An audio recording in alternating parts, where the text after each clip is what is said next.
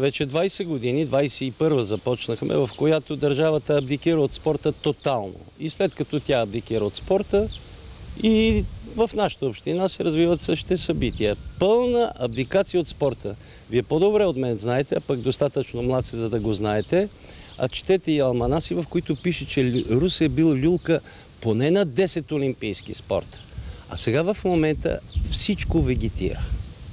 Така че мисля, че е, онова, което се прави от държавата, в частност от общината за развитието на спорта, е равно на нула. Ние сме на кота нула.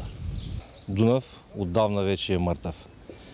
И тук не виждам вече колко пъти трябва да се създават нови клубове, защото той е последният Дунав с наименованието нали, на ни отбор.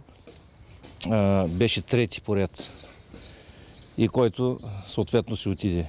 Сега има още един четвърти. Не знам, дано съдбата му да не е като на тези предишните три.